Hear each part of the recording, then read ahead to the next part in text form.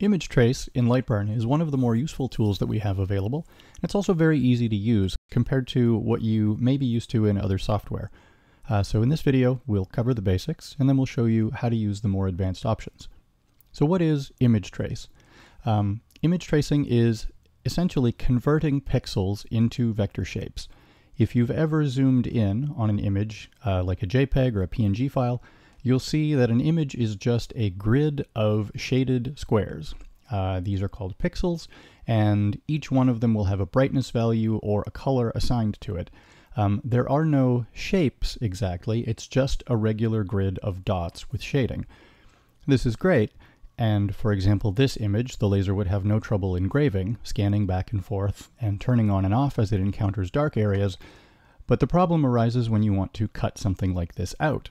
There is no path for the laser to follow to tell it to cut the outline of this, for example.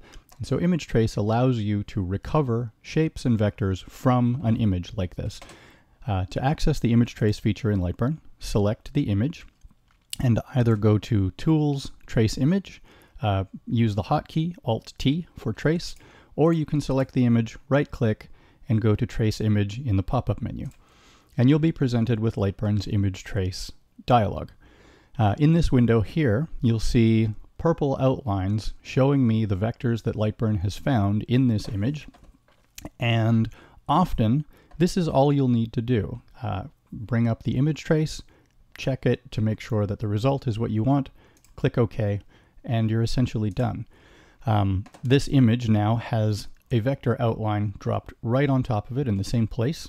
Uh, Lightburn will do that for you. And you can see here, I'm only seeing the wire outline of this image, but if I switch Lightburn to showing me the filled rendering, you can see that they match nearly exactly. And if I zoom in, I'm no longer seeing those jagged pixel outlines. I'm seeing nice, smooth curves here on this shape on the left. That is because this shape is now made of curves and lines instead of individual dots as a grid. And so this can be engraved the same way that you would an image, but it can also be cut. Uh, I can recover these vector lines. Um, if I switch back to my standard wireframe view, um, I could ungroup this, take this line and set it to cut, for example, so that I could cut this out, I could offset it, I can do other operations that I couldn't do on the original image. That's the basic operation of Lightburn's image trace feature. Uh, I'm just going to remove this one and go back to this. Show you a few more advanced options. Um, so first of all, when you are looking at the image here, uh, sometimes it can be difficult if the image is busy uh, to see the lines that the software has created for you. Uh, if you click the Fade Image button down here at the bottom, uh, it dims the image so that you can more easily see the vector shapes. Um, this is a great way for you to spot check things, make sure that everything looks right. There's also uh, show nodes or show points, so you can see the individual nodes or vertexes that the software is adding to your shape. Um, you can also see whether things are curved or not. Uh, so for example, here at this tight corner, you can see that the software is making a curve there. If the software creates shapes that are too sharp or too smooth. You can adjust the smoothness value here. Pixels don't have curvature exactly, so the software is trying to figure out the best possible shape that fits your image uh, intuitively, I guess. Um, and it's there's not always a perfect answer. So here, for example, it's chosen to make a sharp corner. That looks correct. Here, it's chosen to make a round shape. That's probably correct uh, sharp corner here, sharp corner here, and so on. But there may come places where the decisions aren't quite so clear. Um, and so you can choose to increase or decrease the smoothness value here, which adjusts where and how those decisions are made. So for example, this corner right now is smooth. If I lower my smoothness number enough, it becomes a corner. And so you can tune this value to match the image. Uh, and that's useful sometimes if you're trying to capture small text or things like that that have sharp corners where there's not a lot of detail and the software is having a hard time making the right, the right call. Uh, there's also a value here called optimize. This controls how many nodes get added to the vectors that it creates. And so if you set this down to zero, um, you can see that it's created quite a few points around this shape here, for example. If I increase the optimization value, um, you'll see that more and more of those nodes get discarded. Um, and sometimes it may affect the quality of the fit. Uh, so for example, at an optimization of zero, this is the best possible outcome that the software is able to come up with. As I increase the optimization number, um, it discards more and more points, but you'll notice that in some places it doesn't quite fit as well as it did before. So here, for example, it's starting to slip off of the shape a little bit. As you lower this number, it'll probably increase or get better. And see there, you can see now it's a better fit. So play with this. Um, in most cases, the default value of 0.2 is a good balance between the quality of the fit and the number of points in the output. And so you probably don't need to change it much, but it's good to know that it's there. Um, there are other options as well. Um, in most cases, you'll go trace image, spot check it, hit OK, drag the original out of the way and or delete it uh, if all you want is the vector traced result. So there's a helper that will make that just a little faster. If I go to trace and I say delete the image after tracing, when I hit OK, Lightburn has removed the bitmap for me, and now I'm just left with the trace. So it's a simple thing, but it saves you a step. There are a couple of options in the trace feature that are a little more advanced, and we'll show what those are and how they work. So the first one is threshold. Threshold controls which portions of the image are things that you want traced and which portions will be discarded. This is not something that you would likely trace. This is just a gradient, but it's an excellent demonstrator for the threshold and cutoff values. Right now, by default, Lightburn is set to a threshold of 128. That's half of the possible 255 shades of brightness. So it's going to capture everything from pure black uh, up to uh, 128 brightness, and anything from 128 up to 255 brightness is discarded. As I slide the threshold downward, I'm now narrowing which brightness values Lightburn is catching or tracing. So now it's only going to trace around the darkest blacks, for example. Um, as I increase this, it's going to trace more and more into the gray areas and potentially all the way up to white. So if you have an image that has shading or shaded edges like this one, if I zoom in, you can see that there is gray here in these edgings anti-aliasing or shading was applied to this image to make it smoother, and adjusting the threshold will let you catch more or less of that detail. Similarly, there is a cutoff value, and the cutoff chooses where the brightness starts. So it, it's effectively the opposite of the threshold, uh, or the bottom end. So with these two controls, I can slide threshold all the way up to pure white, and bring the cutoff value up to the middle, and then I'm only tracing now from mid-gray to the brighter white. This allows you to narrow in on specific shading regions within your image. So going back to our cartoonish rhino here, if I open the trace, if I was to want to trace this gray section and this independently of the rest of the image. Let's say that I wanted to uh, take this image and do a couple of passes over it and engrave this gray with a different pattern than the rest of it. I can capture that by playing with my threshold slider until I'm catching one part of it. So now I'm going to turn the, the fade on so I can see what's being caught right now. So I'm grabbing from purest black up to some level of gray here. Um, as I pull this down, you can see this line pops from here to here. So I'm crossing the threshold here where it captures from this dark black in the original image to this darker gray. Um, and so that's, that's a good spot there for my uh, threshold. And now if I bring the cutoff up, I'm going to skip over these black areas and just capture these grays, which is actually what I want.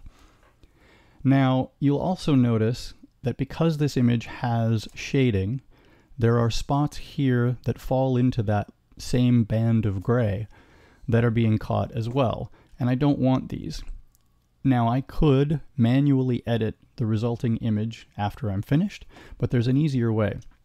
Lightburn has this ignore less than value here. This basically says that any isolated region that is smaller than this number of pixels gets discarded. So right now it says anything smaller than 2 gets thrown away. So anything that's a single pixel in size will get discarded. Uh, that's obviously not large enough for these. So if you increase this, say make it 20, now you'll notice that all of those little strays here are gone. If I bring it back to 2, you can see there's a bunch of them here. Set it back up to 20, and those are gone. There's still one here, so 20 is not quite enough. So let's bump that up again, say 40. I'm going to fade this again so that I can see a little easier where my results are. I don't, oh, there's one. All right, so let's just go all the way up to 100. That looks good. I've got only the regions that I'm interested in capturing.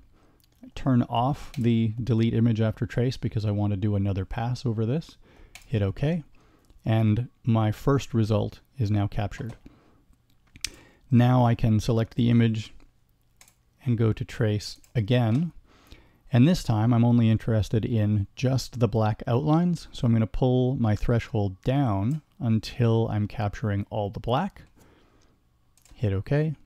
And now I have the dark shading and the black outlines as two separate pieces. And if I grab this one and pull it away, you can see that that other section is still there. Um, I can make this a different layer, for example, um, change the fill setting, change the power that's being used, and so on. And so I could engrave this image as a two-tone with multiple passes and get the shading effects that I want. So I'm undoing a bunch of things here now so I can show you a few other options. Um, trace image also allows you to define a boundary. So if I was only interested in capturing, say, the face of this and not the rest, um, if I click and drag out a rectangle, the trace feature will only capture what's in that rectangle and ignore everything else. And so that can make uh, editing your result or capturing only the things you're interested in much simpler. It won't be perfect. You'll see I'm catching a spot down here and a little bit up here that I don't want if I'm just trying to catch the face. But it means a lot less editing of the end result if you are capturing from the camera, for example, uh, and the resulting image has a lot of noise or a lot of uh, visible bed area, things like that. So uh, dragging a rectangle out allows you to narrow in what you are capturing and uh, makes the editing process simpler after you're done. If you accidentally drag the rectangle, you can single click anywhere or double click to clear it. Um, you can also edit the rectangle after it's been dropped by just clicking and dragging on any of these points. And you'll see that it makes a uh, makes a much tighter fit. So I can grab just the nostrils, for example, uh, just the eyeballs, and so on. And there's what we're left with. And so this would be much faster to edit out than trying to edit everything as a result of that trace if I didn't want the whole thing. Now there's one more feature of the trace in Lightburn that's worth mentioning. If you do a lot of work with handwriting, for example, uh, old recipes, things like that, uh, engraved onto cutting boards, there's a feature in the trace that can help you. So looking at this, you'll notice that the lighting across this photo of a handwritten recipe is not uniform. It's not consistent. And so it gets, it's light up here and it gets darker down in the corner. And a traditional trace is going to have a hard time catching just the writing. So as I move the threshold value around, you'll see that it's catching all of this dark area here because it's dark. Um, if I pull the threshold down enough, now I start losing the lighter bits of the text. And that's a problem, uh, and it's a problem in most software.